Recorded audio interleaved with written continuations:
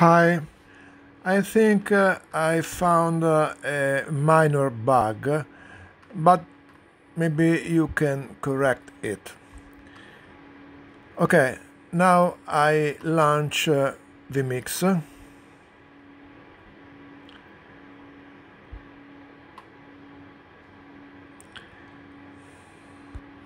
from my Windows 10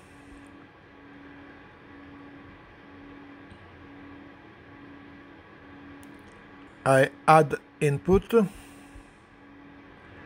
and I select virtual set. And I choose for, for example this one. Now in the first shot I make a close-up. Okay in the second shot, second window, I make a large view.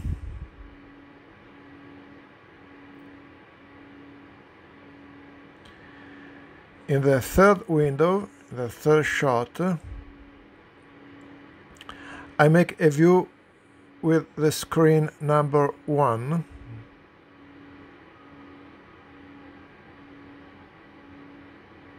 The talent and the screen number one.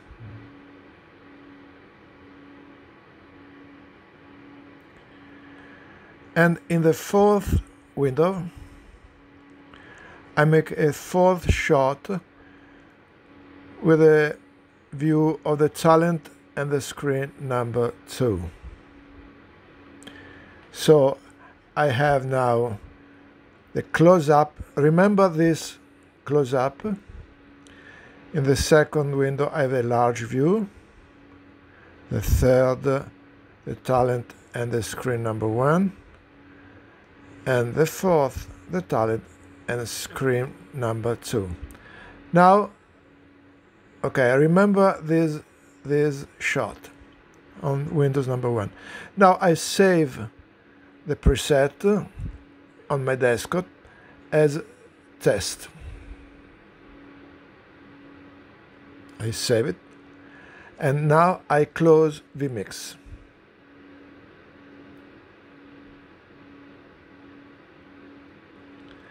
Now I open test. The preset I've just uh, saved. And this is the problem. Watch. Now there is this shot I never saved because now I have to click on the uh, Windows number one, the window number two. Now everything is correct. But as soon as I open vMix, it didn't remember the first position. Okay, this is all. I know it's a minor bug, but if you can, you can uh, fix it. Thank you so much.